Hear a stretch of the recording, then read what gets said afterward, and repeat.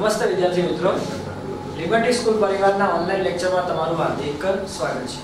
વિદ્યાર્થી મિત્રો, આપણે ચેપ્ટર 1 ની અંદર છેલ્લે ટોપિક જોયો તો વિદ્યુત ક્ષેત્ર વિશે અને એની અંદર જોયું તો વિદ્યુત ક્ષેત્ર રેખાઓ વિશે. આપણે છેલ્લે આઠ પ્રશ્નો પૂરા કરેલા હતા. હવે જે નવ ટોપિક છે બહુ અગત્યનો છે. કેમ કે આ બે ટોપિકને બે રીતે ડિસ્ક્રાઇબ કરી શકાય છે. એક પ્રશ્ન છે તમારા માટે વિદ્યુત ફ્લક્સ બીજો છે ચુંબકીય ફ્લક્સ આ બંનેનો ઉપયોગ બહુ સારી રીતે આપણે કરી શકીએ છીએ. તો પ્રથમ વસ્તુ આપણા માટે છે વિદ્યુત ફ્લક્સ. શું છે વિદ્યાર્થી મિત્રો? વિદ્યુત ફ્લક્સ. આપણે વિદ્યુત ફ્લક્સ વિશે માહિતી લેવાની છે. હવે વિદ્યુત ફ્લક્સ એટલે શું? આ નવો શબ્દ ક્યાંથી આવ્યો? આ નવી વસ્તુ શું હોય આપણા માટે? તો નવી વસ્તુને સમજવા માટે એક આકૃતિ ઉપર જઈએ થોડી વસ્તુની અંદર. આપણે બે વસ્તુ ભણ્યા હતા. વિદ્યુત ક્ષેત્ર વિશે ભણ્યા હતા.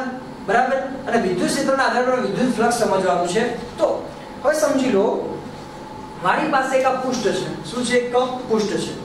આ પૃષ્ઠની અંદર મારે વિદ્યુત ક્ષેત્ર પસાર કરવું, શું કરવું છે? વિદ્યુત ક્ષેત્ર પસાર કરવું છે. તો કોઈ વીજભાર છે, ધારો ઉદાહરણ તરીકે લઈએ કે કોઈ વીજભાર છે. આ વીજભારના કારણે અહીંયા કારણે અલગ અલગ અલગ અલગ રેખાઓ છે. આની શું છે? અહીંયા કને ક્યુ નામનો વીજભાર છે, એને કારણે રેખાઓ છે. અને આની અંદર એક પૃષ્ઠ લેવામાં આવશે. લેવામાં આવશે? પૃષ્ઠ લેવામાં આવશે. હવે પૃષ્ઠ લેવામાં આવ્યું રેખાઓ કેટલી હતી? તો 1 2 3 4 અને 5 હતી. પરંતુ આ પૃષ્ઠમાંથી કેટલી રેખાઓ પસાર થઈ? તમે કહેશો ત્રણ. કેટલી રેખાઓ થઈ? ત્રણ રેખાઓ પસાર થઈ. આ ત્રણ રેખાઓના કારણે જે મૂલ્ય મળે છે, ત્રણ રેખાઓના કારણે જે મૂલ્ય મળે છે, શું કહેવાય છે? વિદ્યુત ફ્લક્સ. શું કહેવાશે વિદ્યુત ફ્લક્સ. એટલે કે કોઈ પણ વિદ્યુત ક્ષેત્રની અંદર કોઈ પૃષ્ઠ મૂકવામાં આવે છે અને પૃષ્ઠમાંથી પસાર થતી ક્ષેત્ર રેખાઓ આ ધારો કે પૃષ્ઠ છે, આ વિદ્યુત ક્ષેત્ર છે, આ પૃષ્ઠમાંથી પસાર થતી વિદ્યુત ક્ષેત્રની રેખાઓની જે સંખ્યા છે, એમને શું કહેવાય છે? વિદ્યુત ફ્લક્સ કહેવાય છે.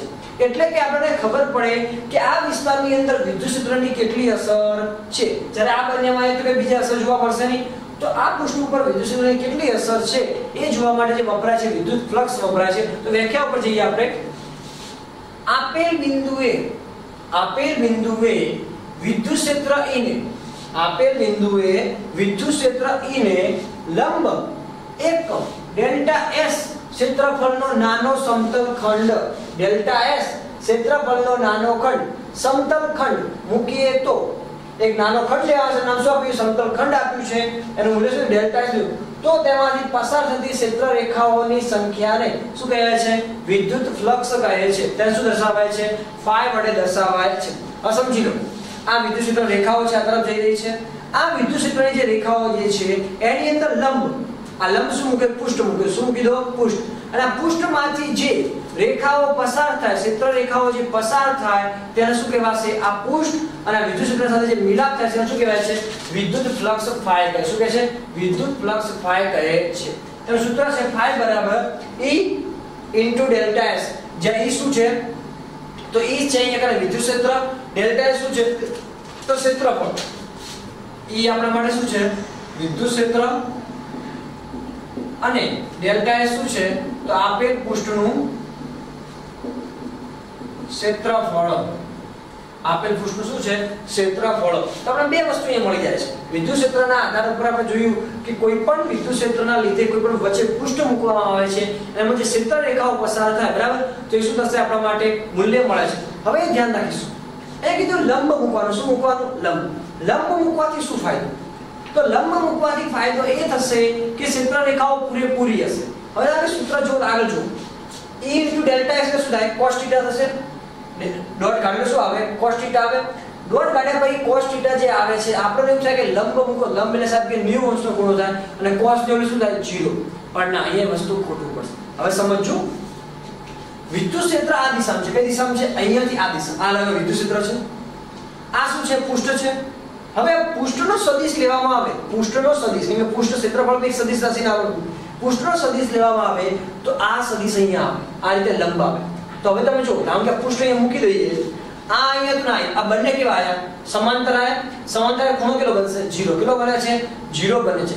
એટલે કે તમે વિદ્યુત ક્ષેત્રની અંદર પૃષ્ઠને પૃષ્ઠને જો તમે સમાંતર રીતે મૂકો, લંબ રીતે મૂકો છો, ત્યારે વિદ્યુત ક્ષેત્રમાં સમજો આપણે કન્ડિશન ઉપર જઈ રહ્યા છો. એ કન્ડિશનને સમજવા જેવી છે. જો વિદ્યુત ક્ષેત્રમાં પૃષ્ઠને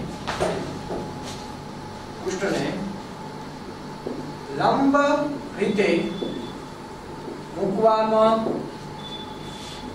આવે તો? કેવો લંબ રીતે મૂકવામાં આવે તો? ત્યારે ત્યારે થીટા બરાબર કેટલો મળે છે? 0 કેટલો મળશે? 0 શા માટે? મેં તમને પહેલું જ બતાવ્યું કે જો આ પૃષ્ઠ છે બરાબર? આ પૃષ્ઠની અંદર આ રીતે હું વિદ્યુત ક્ષેત્ર મૂકું છું. બરાબર? વિદ્યુત ક્ષેત્ર મેં મૂક્યું. આ વિદ્યુત ક્ષેત્ર મૂક્યું શું થયું? આ બંને કેવું થાય છે? બીજા લંબ થયું. અહીં જો અહીં ખૂણો જોઈ શકશો. અહીં ખૂણો કેટલો બનશે? 90 અંશ તો ખૂણો બને છે.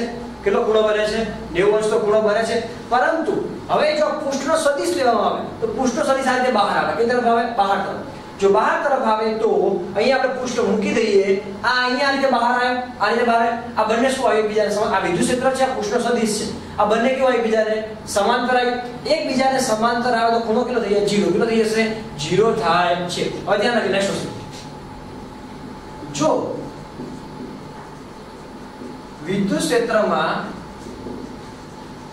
પૃષ્ઠને સમાંતર મૂકવામાં આવે તો આવે તો થીટા બરાબર કેટલા ડિગ્રી બને છે? 90 ડિગ્રી કેટલો બને છે? 90 ડિગ્રી બને છે. તો બે વસ્તુ આપણે નવું મળે છે થોડું ધ્યાન રાખીશું. ફરીથી રિપીટ કરીએ છીએ, જો તમે આકૃતિ બધી જોઈ લો. અહીંયા એક પૃષ્ઠ મૂકેલું છે. આ શું છે? વિદ્યુત ક્ષેત્ર સમાન રીતે વિતરણ પામેલું છે. આ પૃષ્ઠ મૂક્યું. પૃષ્ઠ આપણને દેખાય છે તો ઊભું. પણ અહીંયા જો આ પૃષ્ઠ આ રીતે છે. આ પૃષ્ઠ સીધી લાઈન દેખાય. તમે જોઈ શકો છો. અહીંયા તમને શું એક દેખાશે? સીધી લાઈન તમને દેખાય છે. આ વિદ્યુત ક્ષેત્ર રેખાઓ છે. આ તમે રેખાઓ પર જોશો તો આ વિદ્યુત ક્ષેત્રની દિશા અને પૃષ્ઠનો સદિશ. આ પૃષ્ઠનો સદિશ. આ બંને કેવા છે? એક જ દિશામાં છે. કેવા છે? એક જ દિશામાં છે. એક દિશામાં હોવાથી ખૂણો કેટલો બનશે? 0 બનશે. એ શું બને છે? થીટા બરાબર કેટલો બનશે? 0 કેમ? એકબીજાને સમાંતર હોય ખૂણો શું બને છે? 0 બને. પરંતુ અહીંયા આકૃતિ જુઓ. અહીંયા તમે જુઓ કે પુષ્ટ કેવું મૂક્યું છે? વિદ્યુત ક્ષેત્ર સમાંતર કેવું મૂક્યું છે? વિદ્યુત ક્ષેત્ર આમ છે પૃષ્ઠ મેં આ રીતે મૂક્યું છે? એકબીજાને સમાંતર મૂક્યું, ત્યારે જો આ પૃષ્ઠ સદિશ કેવો છે? ઉપર તરફ છે. આ ઉપર તરફ હોય તો આ બંને વચ્ચે ખૂણો કેટલો બનશે? આ વિદ્યુત ક્ષેત્ર બંને વચ્ચે ખૂણો કેટલો બને છે 90 કેટલો બનશે? 90 તો એ બે વસ્તુ ધ્યાન રાખવાનું છે. જ્યારે પૃષ્ઠને લંબ મૂકો છો, ત્યારે ખૂણો કેટલો બનશે? 0 બનશે. અને જો પૃષ્ઠને સમાંતર મૂકો તો ખૂણો કેટલો બને છે? 90 ડિગ્રી બને.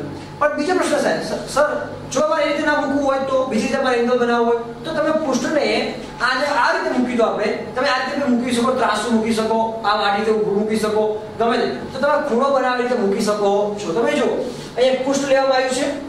બરાબર? આ પૃષ્ઠ પણ આ પૃષ્ઠ જો અહીંયા કદાચ વિદ્યુત સાથે કેટલો ખૂણો બનાવે છે? થીટા જેટલો કેટલો ખૂણો બનાવે છે? થીટા જેટલો ખૂણો પણ બનાવે છે. તો દરેકના મૂલ્ય આપણે અલગ અલગ રીતે મળી શકે છે. તમે થીટાના આધારે 30 ડિગ્રીના ખૂણે મૂકો 60 ડિગ્રીના ખૂણે મૂકો મૂકો, કોઈ પણ ખૂણે મૂકી તમે જવાબ લાવી શકો છો. બરાબર? તો અલગ અલગ આપણને એક કોન્સેપ્ટ મળે છે. અહીં આપણે જોઈએ કે સમાંતર મૂકી, જો આપણે લંબ મૂકો છો, તો થીટા કેટલો મળશે? 0 જો આપણે એક અને સમાંતર મૂકીશું થીટા કેટલો બનશે? 90 અને અહીં એક જોવા જઈએ, જો આપણે થીટા ખૂણે મૂકો છો ત્યાં શું હવે ત્રણેય કન્ડિશનમાં જોવા જઈએ તો આપણને અલગ અલગ વસ્તુ મળે છે. હવે આપણે મહત્તમ વિદ્યુત વિદ્યુત ફ્લક્સ ક્યારે મળશે? તો મહત્તમ વિદ્યુત ફ્લક્સ ક્યારે મળશે? કે જ્યારે બધી બધી રેખાઓ પસાર થશે, ત્યારે. જ્યારે તમે પુષ્પને લંબ રૂપે મૂકો છો, ત્યારે બધી બધી રેખાઓ પસાર થશે. આ બધી બધી રેખાઓ પસાર થતી હોવાના કારણે, સમાન રીતે કમ્પ્લીટલી પસાર થતી હોવાના કારણે ફ્લક્સ કેવો હશે? મહત્તમ. કેવો હશે? મહત્તમ. જ્યારે તમે અહીંયા જોઈ શકો છો આની અંદર કોઈ વિદ્યુત ક્ષેત્ર રેખાઓ પસાર થતી નથી. તો ફ્લક્સ શું હશે? શૂન્ય. આ તમે જોઈશો અહીંયા અંદર રેખાઓ પસાર થાય છે, પણ એક રીતે સમાન રીતે. ધારો કે પહેલા પસાર થશે, અહીંયા મોડા પસાર થશે, તો દરેક રીતે સમાન રીતે પસાર થતી નથી. તો વિદ્યુત ફ્લક્સનું મૂલ્ય કેવું હશે? ઓછું હશે. તો દરેક જગ્યાએ જોવા જશો તો વિદ્યુત ફ્લક્સના મૂલ્યમાં શું થાય છે? ફેરફાર તમને જોવા મળે છે. આટલી વસ્તુ ક્લિયર થાય છે? નેક્સ્ટ વસ્તુ પર આપણે જતા જઈએ તો એક વસ્તુ છે. હવે આપણા માટે પ્રશ્ન થાય સમજાય તો સીધી સપાટી લીધી. કોઈ વક્ર સપાટી લેવામાં આવે તો? આપણે વસ્તુને સમજીએ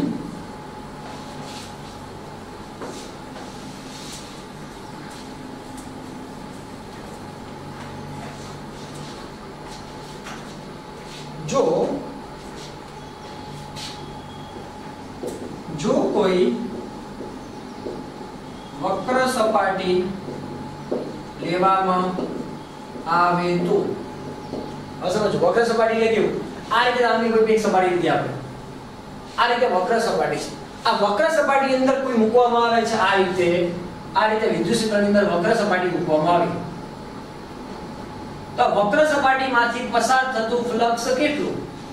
વક્ર સપાટીમાંથી પસાર થતું ફ્લક્સ કેટલું? તો વક્ર સપાટીના જેટલા બી ભાગ છે, દરેક ભાગના ટુકડા કરો. શું કરતો ટુકડા. એટલે નાના નાના ખંડમાં વિભાજિત કરી દો. બરાબર? તો વક્ર સપાટીને લેવામાં આવે તો વક્ર સપાટીને નાના સૂક્ષ્મ ખંડોમાં વિભાજિત કરવામાં આવે તો, નાના સૂક્ષ્મ ખંડો શું કરવામાં આવે?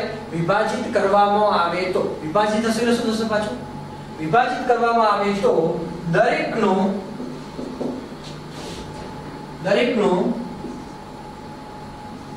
પૃષ્ઠનો સદિશ ડેલ્ટા s સદિશ બરાબર ડેલ્ટા s n કેરેટ લેવામાં આવે. જ્યાં આપણા માટે પ્રશ્ન n કેરેટ શું છે? જ્યાં n કેરેટ એ દરેક પૃષ્ઠખંડનો સદિશ દર્શાવે છે. હવે આપણે અલગ અલગ ખંડોનો છે. દરેકનો અલગ અલગ સદિશ આપણે ઉદાહરણ લઈએ જો આ આ રીતે બનશે સદિશ અહીંયા. અહીંયા અહીંયા બનશે. આમ જશે, આ ઉપર જશે, આ રીતે ઉપર જશે, અહીંયા ઉપર જશે, આ ઉપર જશે, આ રીતે ઉપર જશે. તો દરેકનું મૂલ્ય કેવું મળશે? અલગ અલગ. કેવું મળશે? અલગ અલગ. દરેકમાં સમાન આપણને મળતું છે નહીં. તો દરેકનો સદિશ અલગ અલગ લેવો પડશે.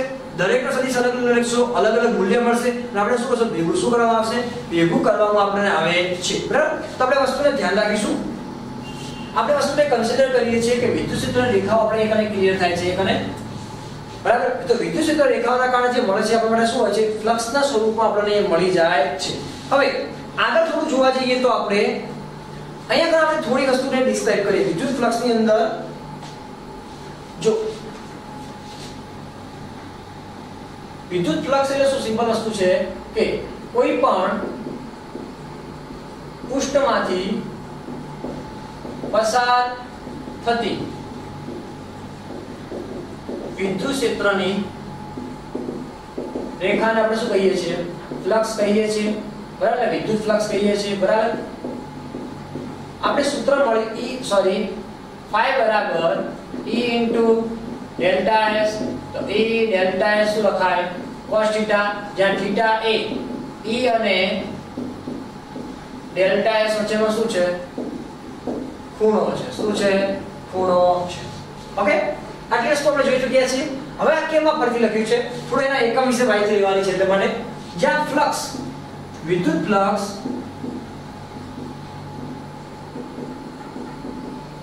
એ અદિશ રાશિ છે. કેવી રાશિ છે?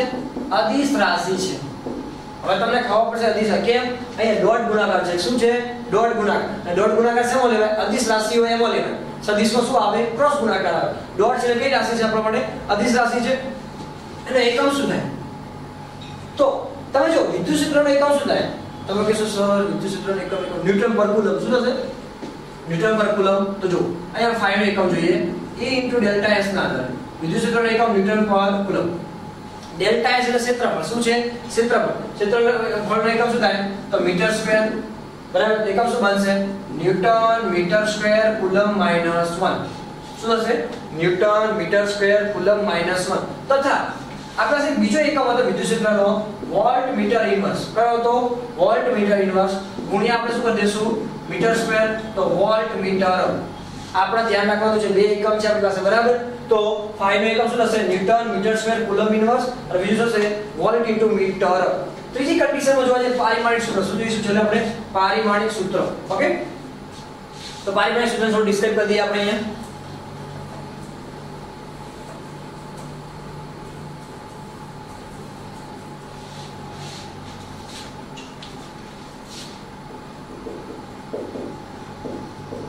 પારિમાણિક સૂત્ર ચલો આપણી પાસે છે ન્યૂટન મીટર સ્ક્વેર ના આધારે શોધો newton metre square coulomb minus 1 ન્યૂટનનું શું થાય m1 l1 t 2 મીટર સ્ક્વેરનું શું થશે અહીંયા આપણા માટે? કેટલું થશે? L2 અને કુલમનું શું થશે આપણા માટે? તો A 1 T 1 ઓકે એડી થાય ને? એનું માઇનસ ચિહ્ન માઇનસ કરી નાખ્યું બરાબર? એ કશું થશે આપણા માટે? અંદર એડ કરીએ તો? देखो m1 ને m1 l1 ને l2 કેટલા થશે? એકને l3 t 2 અને શું હશે t 1 કેટલા થશે? T 3 અને શું આવશે છે છેલ્લે? A 1 બરાબર? તો ધ્યાન રાખશો ફ્લક્સની અંદર વારંવાર પૂછાતા પ્રશ્નોમાંથી એક છે. બરાબર? તો આ પ્રશ્ન પૂછાય છે. ધ્યાન રાખશો 13 31 શું રાખીશું 13 31 તરીકે યાદ રાખી શકો છો. વિદ્યુત ફ્લક્સનું પારિમાણિક સૂત્ર, ઓકે? તમને આ વસ્તુ ક્લિયર હોવું જોઈએ. ઓકે? હવે બીજા થોડા સંબંધો ઉપર જઈએ છીએ આપણે. આ બંધ, આ જે સપાટી જે કહેવામાં આવશે કેવી સપાટી હશે? તો કોઈ પણ બંધ વક્ર સપાટી લઈએ. કેવી લઈશું આપણે? બંધ વક્ર સપાટી લેવામાં આવે છે. બરાબર? તો એની અંદર આપણને ફ્લક્સનું મૂલ્ય શું મળે? બોલો. બરાબર? તો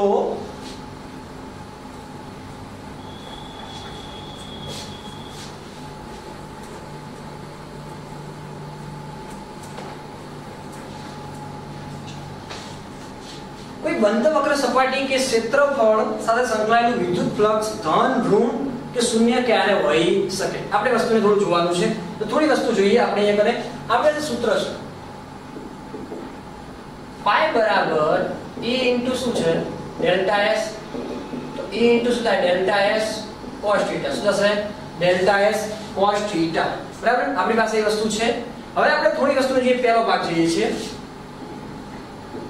જો જો આ કન્ડિશનને પકડી રાખજો. એ બરાબર ઇમ્પોર્ટન્ટ છે. જો ઈ લંબ ઈ લંબ ડેલ્ટા એ શું હોય ઈ લંબ ડેલ્ટા એસ હોય, તો આપણે શું જવાબ મળશે આપણને? તો e ડેલ્ટા એસ હોય તો શું કન્ડિશન થાય? હવે મેં તમને પહેલું કીધું કે જો વિદ્યુત ક્ષેત્ર અને પૃષ્ઠ લંબ હશે તો ત્યારે ખૂણો કેટલો બનશે? જીરો કેટલો બને છે? ખૂણો જીરો બને છે. તો આપણે વસ્તુને ધ્યાનમાં રાખવાનું છે, આપણે ભૂલવાનું છે. નહીં, બરાબર? તો એક આપણી પાસે કન્ડિશન છે, એક ધ્યાન રાખીશું. વિદ્યુત ક્ષેત્ર અને બંને વચ્ચે શું છે? પૃષ્ઠ છે. એ વસ્તુને કન્સિડર કરીને આપણે ચાલવાનું અહીંયા છે ઓકે તો એક કન્સિડર કરીશું. કે E લંબ ડેલ્ટા S. એટલે બંને કેવા છે? બીજાને લંબ છે. ખૂણો કેટલો બને? થીટા બરાબર 0 કેટલો બનશે? થીટા બરાબર 0 બરાબર? એ સદિશના ઘટકો છે. બરાબર? થોડું વસ્તુને ધ્યાનમાં રાખીશું. બરાબર? તો એ કન્સિડર કરીશું. જો. ચલો, આ બે કન્ડિશન ઉપર થોડું જોઈએ એ ચલો E લંબ ડેલ્ટા S એટલે કે E કેવું દેખાય આ કન્સિડર કેવું આપે છે E લંબ ડેલ્ટા S એટલે આ રીતે આ વિદ્યુત ક્ષેત્ર આ રીતે આપણે જોયું હતું અને અહીંયા કને લાઈન હતી આ કેવું હશે અહીંયા કને લંબાયું આ શું આપે છે લંબ લંબ એટલે કે કેવું સમાંતર કેવું હશે સમાંતર બરાબર તો એ વસ્તુને ધ્યાન આપો છો E અને ડેલ્ટા S સદિશો લંબ છે ત્યારે પુષ્ઠ સમાંતર હોય છે માટે થીટા બરાબર કેટલા બનશે? 90 ડિગ્રી. કેટલું બને છે 90 ડિગ્રી બને છે. તો એક કિંમત મૂકીએ. ફાઈ બરાબર p delta s cos 90 cos 90 શું થઈ જાય? 0 તો ફાઈ શું થશે 0 થાય છે. બીજી કન્ડિશન જુઓ. e સમાંતર ડેલ્ટા s ત્યારે પૃષ્ઠ લંબ હોય છે? કેવું હોય છે? પૃષ્ઠ લંબ હોય છે. તો ફાઈ બરાબર શું થશે? અહીંયા કરે થીટા કેટલો મળશે તમને થીટા બરાબર 0 ડિગ્રી શું મળશે 0 ડિગ્રી તો phi બરાબર e delta s cos 0 cos 0 શું થાય 1 થાય તો e ડેલ્ટા s તમને શું મળી ગયું મહત્તમ મળી ગયું બીજી કન્ડિશન ત્રીજી કન્ડિશન ઉપર છે હવે ઋણ ક્યારે હોય અને ધન ક્યારે હંમેશા તો થીટા લેસ ધેન 90 કેટલો થીટા લેસ ધેન 90 એટલે કે પ્રથમ ચરણ કેવું કહેવાશે પ્રથમ ચરણ અને પ્રથમ ચરણની અંદર cos શું આવે છે હંમેશા તો કોસ હંમેશા કેવું છે આપણા માટે? ધન જ હોય છે. કેવું હોય છે? ધન હોય છે. માટે અહીંયા તમને થીટા 0 એટલે કોસ થીટા ગ્રેટર ધેન શું હશે? સોરી કોસની કિંમત કેટલી હશે? તો એ કરે 0 cos થીટા લેસ ધેન 1 બરાબર? તો cos ની કિંમત 0 અને 1 ની વચ્ચે હોવાના કારણે આપણે શું મળશે? 5 પણ ગ્રેટર ધેન શું થશે? 0 એટલે કે ફ્લક્સ કેવું મળે છે? ધન મળે છે. પ્લસ કેવું મળશે? ધન મળે. એ સમજો આ બે વસ્તુમાં તમારી ભૂલ ના થવી જોઈએ લંબ અને એમાં. આ લંબ મેં સદિશમાં લખ્યું છે. શું લખ્યું છે? સદિશમાં. જ્યારે સદિશમાં લંબ હોય ત્યારે શું હોય? સમાંતર. મેં સમજાયું આગળ પેલું અને જ્યારે સદિશમાં સમાંતર હતા, કેવું છે? પૃષ્ઠ કેવું હોય છે? લંબ હોય છે. બરાબર? તો બે વસ્તુને આપણે ધ્યાન રાખવાનું છે. આ ક્લિયર હોવું જોઈએ આપણા માઇન્ડની અંદર. તો ફ્લક્સ કેવું મળશે તમને? ધન. અને ચોથી વસ્તુ જોવા જઈએ તો થીટા ગ્રેટર દેન 90 થીટા કેવું હોય? 90 કરતા વધારે હોય, ત્યારે 0 શું થશે? કોની વચ્ચે હશે? 0 લેસ ધેન હશે. શું હશે? 0 કરતા નાનું હશે. બરાબર? એટલા માટે phi શું થશે? લેસ ધેન 0 એટલા માટે ફ્લક્સ કેવું મળે છે? ઋણ મળે છે. કેવું મળે છે? ઋણ મળે છે. ચાર કન્ડિશન આપણે ધ્યાન રાખવાની છે. આપણે ભૂલવાનું છે નહીં. બરાબર? તો પહેલી વસ્તુ. સતીશ લંબ ત્યારે પૃષ્ઠ કેવું હશે સમાંતર આ રીતે. તમે જોઈ શકો છો. સદિશ કેવો આ દેખો. અહીંયા કેવું છે? સદિશ લંબ છે, આ ડેલ્ટા એસ અને ઈ કેવો છે? લંબ છે. લંબ છે ત્યારે આ બંને કેવા છે? સમાંતર છે. હવે એક શું કીધું પુષ્ટ લંબ આ રીતે જુઓ. પુષ્ટ લંબ હોય. પણ સદિશ જોવા જઈએ સદિશ કેવા હશે? ડેલ્ટા એસ અને ઈ કેવા હશે? સમાંતર હશે, તો એ જવાબ થશે. અને થીટા જો 90 કરતા નાનો હોય, કેવો હોય? 90 કરતા નાનો તો હંમેશા ફ્લક્સ કેવું આવશે? ધન આવશે. અને થીટા જો 90 કરતા વધુ તો ક્યારે આવશે? તો ઋણ આવે છે. તો આ ફ્લક્સની આપણે કન્ડિશન કન્સિડર પૂરું કરે છે. ફ્લક્સ એક પ્રકારનું છે, કોઈ પણ પૃષ્ઠમાંથી પસાર થતી સંખ્યા, રેખાનું એક મૂલ્ય આપે છે, બરાબર?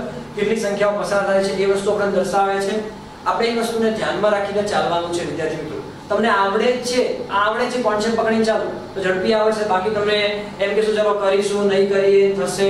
આ તો આમ છે, તેમ છે. આમાં ખબર નહીં પડતી. તમે ટ્રાય કરશો તો ઓટોમેટિક તમને આવડી જશે. આપણે અથવા વિડીયોને એકથી શું, બે વાર ત્રણ વાર જો તો વધુ તમને ખબર પડે છે. તો એ ફ્લક્સ શું થાય છે આપણા માટે? પૂરું થાય છે. તો ફ્લક્સનું સૂત્ર આપણે રાખ્યું છે 5 બરાબર ઈ ઇન્ટુ ડેલ્ટા એસ અને ડેલ્ટા ઇન્ટુ કાઢવું શું નીકળે છે. Cos થીટા આવી જશે તો E delta S cos theta થાય છે. અને થીટા શું છે? તો E અને ડેલ્ટા S વચ્ચેનો ખૂણો છે. E શું ફાઈ શું બતાવે છે? તો કેટલી ચિત્રરેખાઓ પૃષ્ઠમાંથી પસાર થાય છે તેની સંખ્યા બતાવે છે. બરાબર સાહેબ, સંખ્યાનો એકમ તો ના આવે પણ આ સંખ્યા એટલે એક પ્રકારનું શું છે? મૂલ્ય છે. શું છે? મૂલ્ય એટલે એની અસર કેટલી છે જગ્યા ઉપર? એ તમને વધુ બતાવે છે. તમે આપણે જોયું કે જો લંબ હશે તો અસર કેવી હશે? વધુ. ખૂણો હશે અસર થોડી ઓછી. અને જો સમાન હશે શું થશે? ખૂણો એકદમ મૂલ્ય શૂન્ય થઈ જાય છે. તો આ કન્ડિશન જોયું છે? અલગ અલગ આપણે મૂલ્ય જોઈ લીધા છે. હવે નેક્સ્ટ ટોપિક આપણા માટે છે વિદ્યુત ડાયપોલ શું છે? વિદ્યુત ડાયપોલ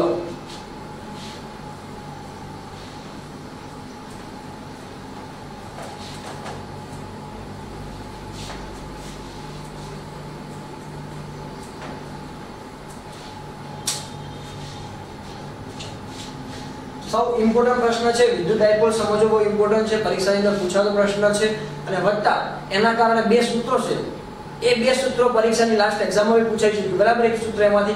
તો વિદ્યુત ડાયપોલ તમારે ફાઇનલી માગજમાં ફિટ કરીને ચાલવાનું છે. તો સમજીશું વિદ્યુત ડાયપોલ એટલે શું.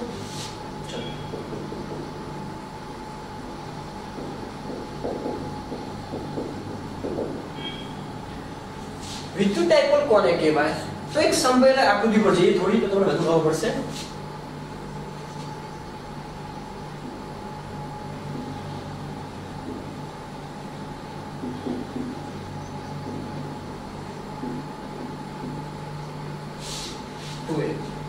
એકબીજાથી અમુક એકબીજાથી અમુક, એટલે કે કેટલા અંતરે? 2a અંતરે. કેટલા અંતરે? 2a અંતરે. એકબીજાથી અમુક અંતરે રહેલા બે સમાન વીજભાર સમાન વીજભાર મૂલ્ય સમાન. બે સમાન વીજભારો પરંતુ વિરુદ્ધ ચિહ્ન વાળા કેવા? વિરુદ્ધ નિશાની વાળા બરાબર? ની રચના જે બને છે શું કહેવાય છે? વિદ્યુત ડાયપોલ અથવા દ્વિધ્રુવી કહેવાય છે. શું કહેવાય છે? દ્વિધ્રુવી પણ કહેવાય છે. તે સમજીશું. અમુક અંતરે રહેલા, અમુક અંતરે શું હશે અમુક અંતરે, એટલે કે ટુએ રહેલા બે. સમાન મૂલ્યના. પરંતુ વિજાતીય વીજભારની રચનાને શું કહે છે? વિદ્યુત ડાયપોલ કહે છે. આ જે રચના બને છે શું કહેવાય છે? વિદ્યુત ડાયપોલ કહેવાય છે. અને અહીંયાથી વિદ્યુત ડાયપોલ પરના કોઈ એક વીજભાર ના મૂલ્યો અને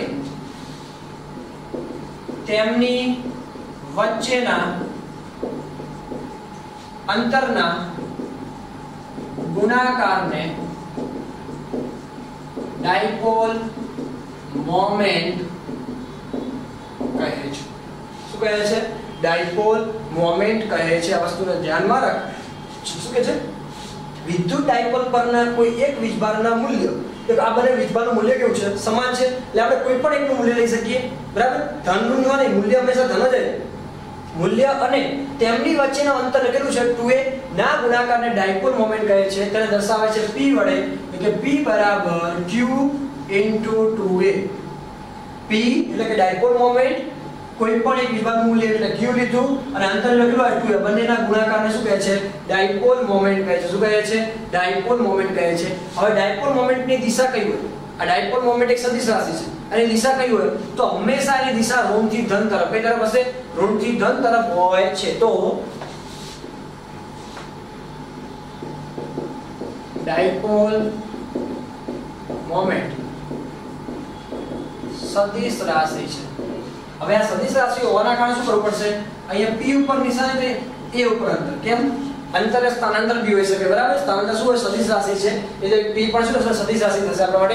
ડાયપોલ મોમેન્ટ સદિશ રાશિ છે. અને ડાયપોલ મોમેન્ટની દિશા.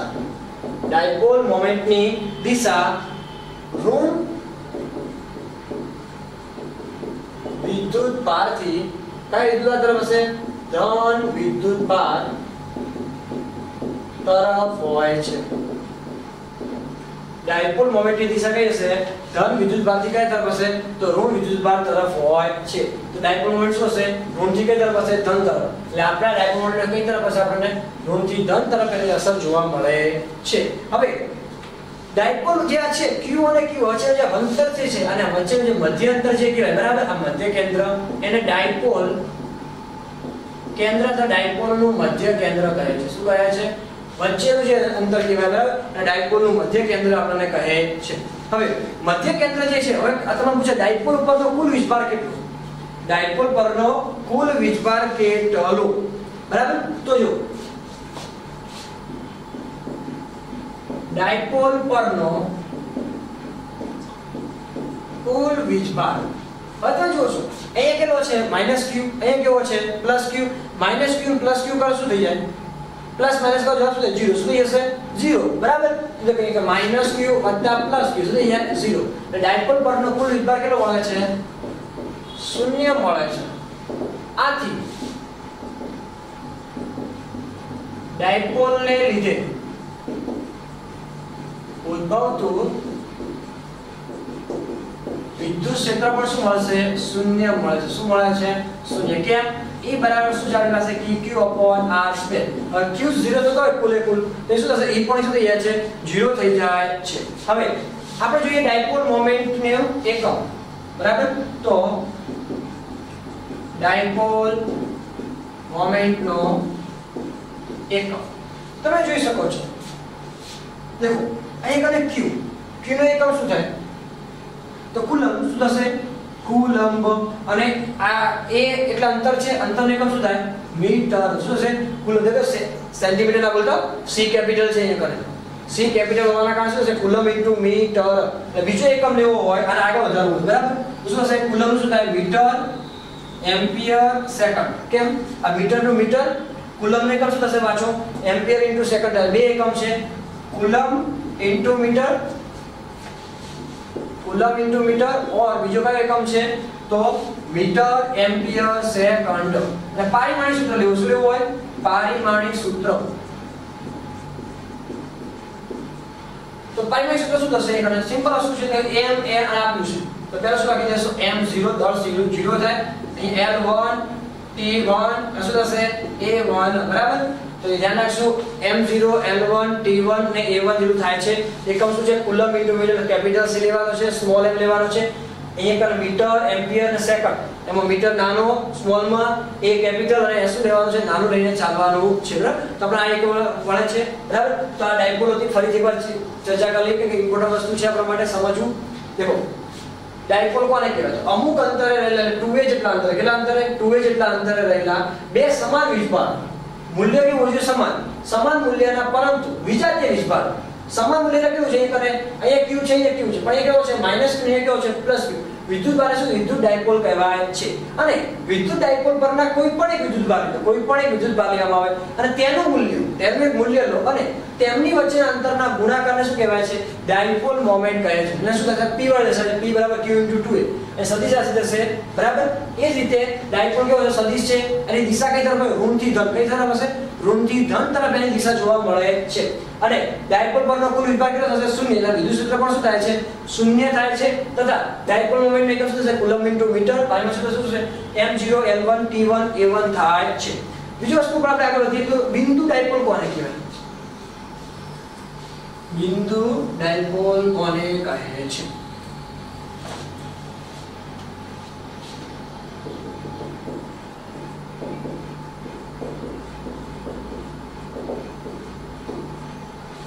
તો બિંદુ ડાયપોલની વ્યાખ્યા પ્રમાણે થશે કે p બરાબર q, p બરાબર q 2a માં લિમિટ 2a 0 2a 0 અને લિમિટ q થી 0 લેવામાં આવે. શું લેવામાં આવે? Q થી 0 સોરી 2a થી 0 અને q ઇન્ફિનિટી શું લેવામાં આવશે? Q ઇન્ફિનિટી લેવામાં આવે તો બનતી ડાયપોલ. તો મળતા સોરી બનતી ડાયપોલ શું કહેવાય છે? બિંદુ ડાયપોલ કહે છે. બરાબર સિમ્પલ વસ્તુ છે, એટલે કે શું એ કહેવા માંગે છે કન્સિડરેશનની અંદર કે 2a નું મૂલ્ય કેટલા સુધી છે 0 સુધી. કેટલું હોય 0 અને q નું મૂલ્ય કેટલું? ઇન્ફિનિટી તો એક મૂલ્ય ઘટાડો બીજું મૂલ્ય શું કરો? વધારો એક વધારો, બીજું શું કરો? ઘટાડો. ત્યારે જ તમને કંઈક અસર મળે છે, બરાબર? કેમ કે શું થશે? અંતર ઘટાડો. તો અંતર ઘટાડી એટલે શું થયું? આ નું મૂલ્ય વધશે? તમે જો અહીંયા પણ આટલું મોટું છે. હવે આ અંતર હું અહીંયા કરું? આટલું છે. તો આ અંતર જો અહીંયા કદાચ ક્યુ છે, અહીંયા ક્યુ છે. હજુ અંતર મેં આટલું કરું 0 0 હવે અંતર ઘટાડવા સુધી બિંદુ જેવું કોઈ થાય છે, બિંદુ જેવું થાય છે. એટલા માટે શું કહેવાય છે? બિંદુ ડાયપોલ કહે છે. ઓકે હવે વિદ્યુત ડાયપોલ વિદ્યુત ક્ષેત્રના કયા નિયમ અને કયા સિદ્ધાંત પર કાર્ય કરે છે? તો વિદ્યુત ક્ષેત્રમાં જોવા જઈએ બે નિયમ પર કામ કરશે. અવકાશમાં કોઈ પણ બિંદુએ વિદ્યુત ડાયપોલ લેવા તો બે નિયમ લાગશે. એક કુલમનો નિયમ લાગશે અને સંપાતપ્રાણ સિદ્ધાંત કયો લાગે છે? કુલમ્બનો નિયમ અને સંપાતપ્રાણનો સિદ્ધાંત લાગુ પડે છે.